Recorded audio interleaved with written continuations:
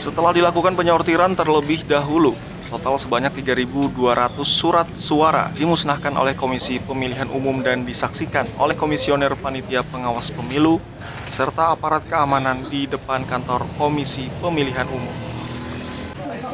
Surat suara yang dimusnahkan terdiri dari 2.392 lembar surat suara rusak dan 808 surat suara lebih.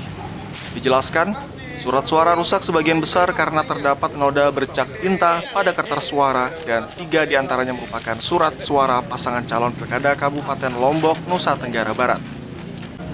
Pemusnahan surat suara dilakukan dengan cara dibakar sesuai dengan ketentuan yang berlaku. Pemusnahan dilakukan guna menghindari terjadinya penyalahgunaan surat suara saat pelaksanaan pemilihan. Pemusnahannya sesuai dengan aturannya harus dibakar, dimusnahkan, ya, dibakar.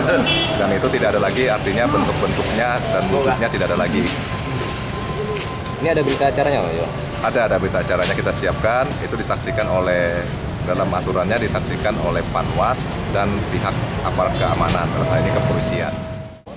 Lebih lanjut, Iris Sandi menjelaskan, dengan dimusnahkannya surat suara ini dipastikan tidak ada lagi surat suara yang rusak serta lebih dalam pelaksanaan Pilkada Tabalong tahun 2018. Rahmadi TV Tabalong melaporkan.